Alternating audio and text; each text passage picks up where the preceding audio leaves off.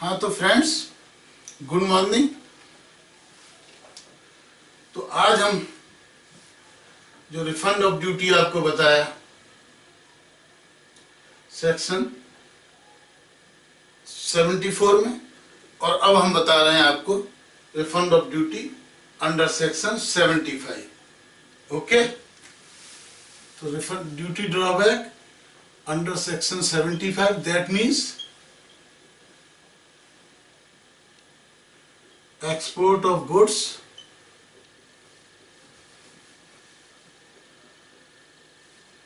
after further processing.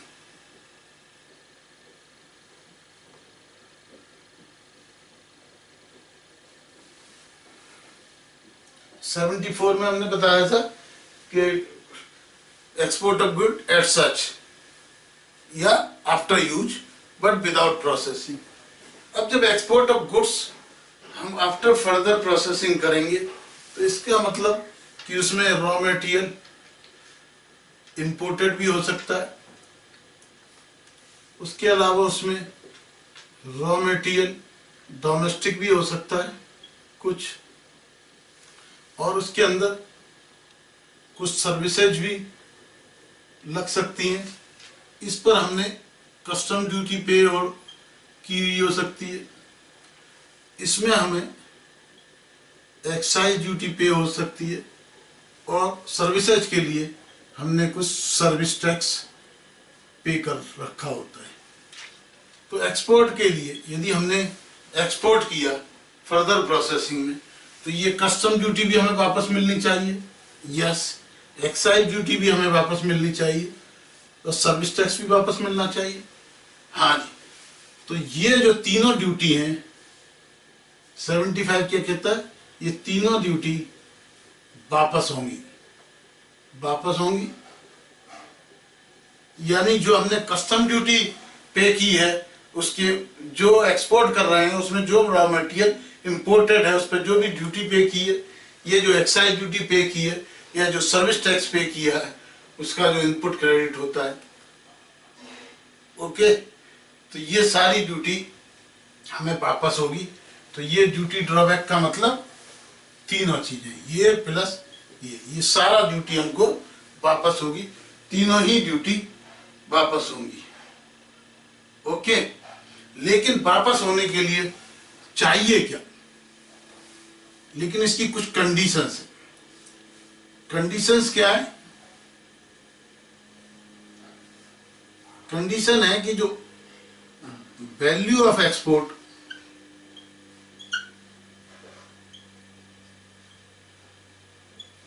जो value of export है ठीक है?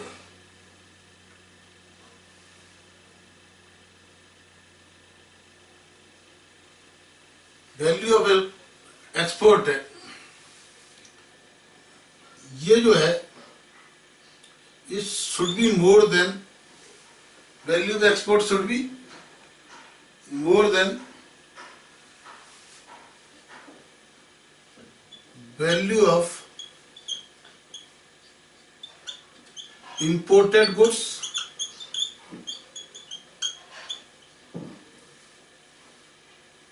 तो ये जो value of imported hundred percent और बेटेड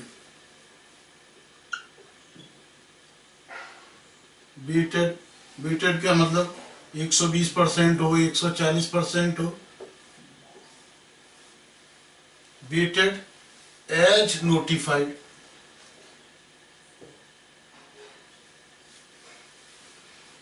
ड्यूटी वापस क्या होगी?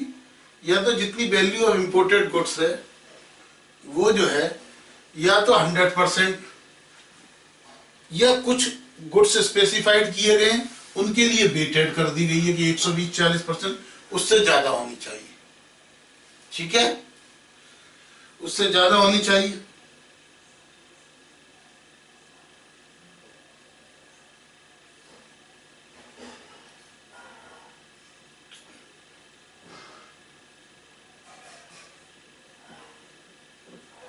ठीक है?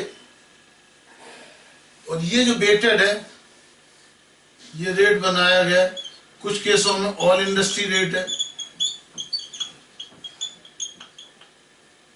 और कुछ केसेज के अंदर बॉन्ड के हिसाब से रेट है। ब्रांड के हिसाब से रेट है। ब्रांड रेट है।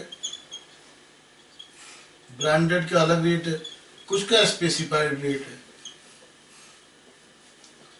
तो ये जो रेट्स हैं ये आपको याद नहीं करने हैं आपको याद नहीं करने। हैं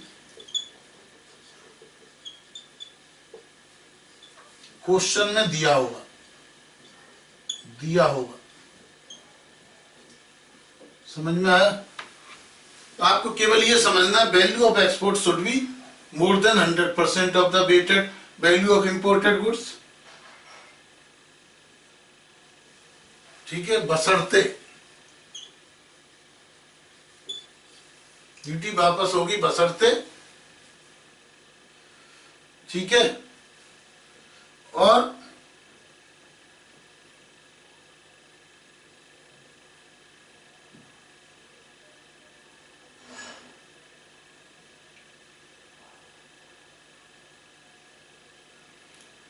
value of export is more than duty drawback demanded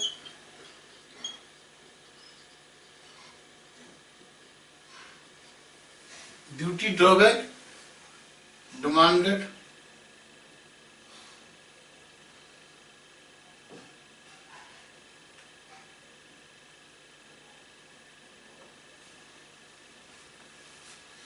ठीक है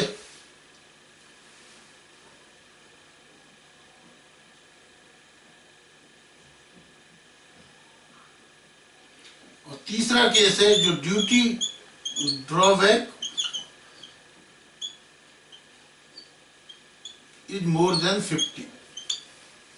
तो ये तीन कंडीशंस होनी चाहिए।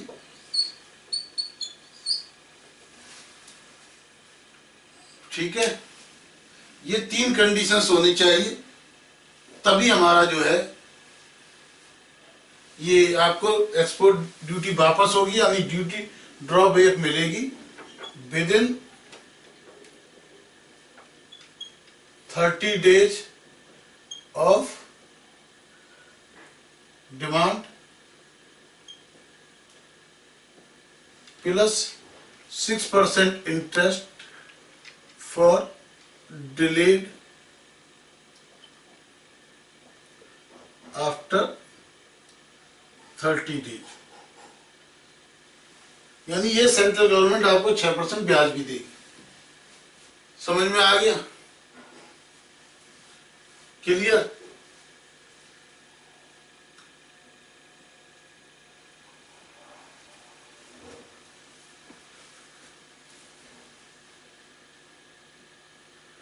अब ये जो ग, गल, गलत तरीके से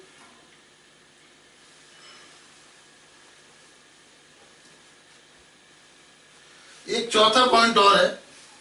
चौथा पॉइंट ये है, यदि पीओ को लगता है, पीओ को लगता है कि गुड्स वापस स्मगल हो सकता है। स्मगल हो सकता है। तो डेफर कर सकता है। तो डेफर कर सकता है।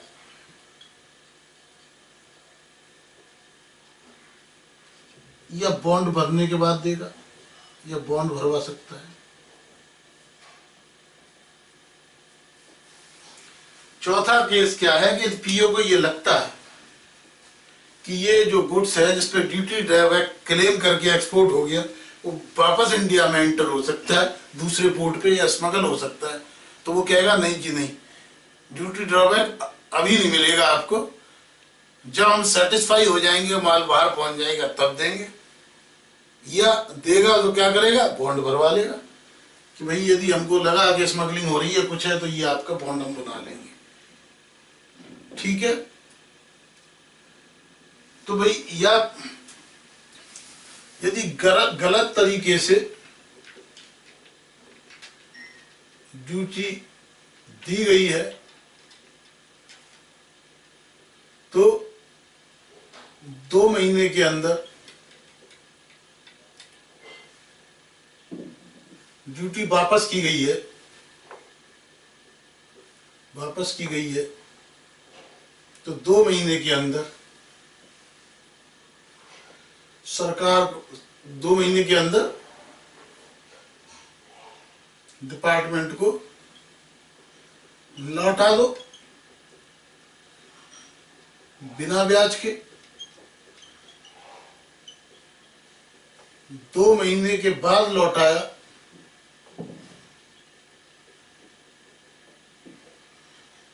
तो शुरू से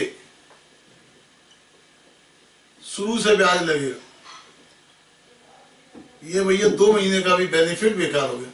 दो महीने का भी बेनिफिट दो महीने का भी बेनिफिट नहीं मिलेगा। बेनिफिट नहीं मिलेगा। हाँ जी, बात समझ में आती है?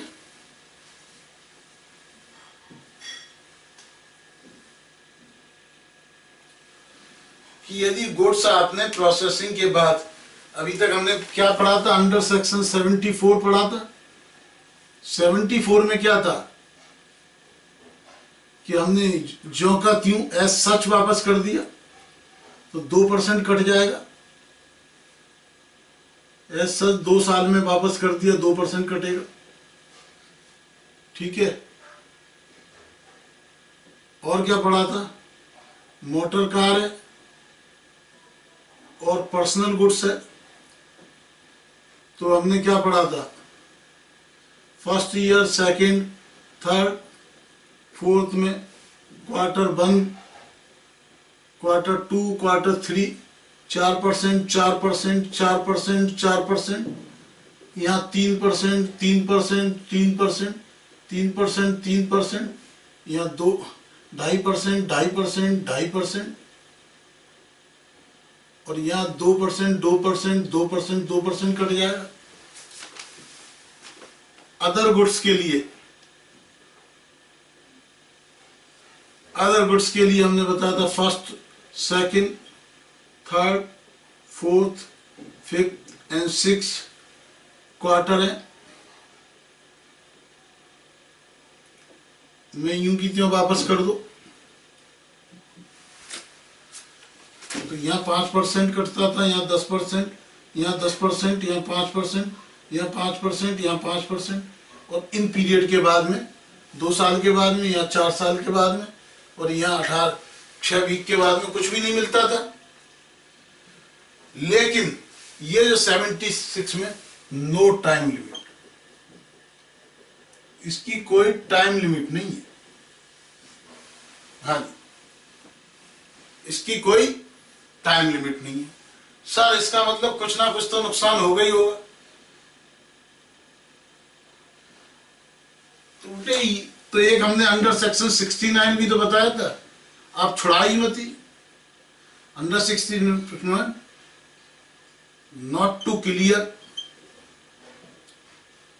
for home consumption और आप एक्सपोर्ट कर दीजिए। Export from port only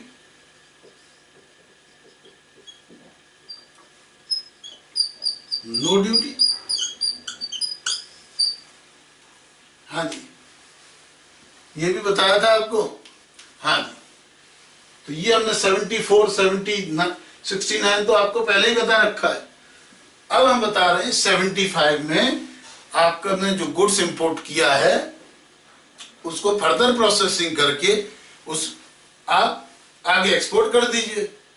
उस पर जो रॉ मेटेरियल लगा है, उस एक्सपोर्टेड गुड्स में, उस पर जो इंपोर्ट ड्यूटी दी है वो वापस मिल जाएगी। जो एक्सपोर्ट, एक्साइज ड्यूटी दी है, यदि अपने लोकल रॉ मेटेरियल यूज़ किया, वो वापस मिल जाएगी। कुछ उसमें सर्विसेज़ ली हैं, उस पर सर्विस टैक्स दिया है, वो वापस मिल जाएगा। ये सब ड्यूटी ड्रॉबैक कहलाएगा, सब वापस मिल जाएगा। लेकिन वापस मिलने की शर्त यह है कि वो जो वैल्यू ऑफ़ एक्सपोर्ट है, वो इम्पोर्टेड गुड से ज़्यादा हो। है ना? या तो हंड्रेड परसेंट का नेगेटिव में तो मिलेगा ही नहीं। तो कुल मिला के लिख लिए नेगेटिव वैल्यू एडिशन में नेगेटिव इसको रेड से लिखते हैं। नेगेटिव वैल्यू एडिशन में वैल्यू एडिशन में ड्यूटी ड्रॉबैक वापस नहीं होगी। ड्यूटी वापस नहीं होगी। वापस का मतलब ड्रॉबैक ड्यूटी वापस नहीं होगी। लेकिन यहाँ तो क्या होता है नेगेटिव में भी वापस नेगेटिव में वापस होती है। नेगेटिव में भी वापस होती है। ठीक है?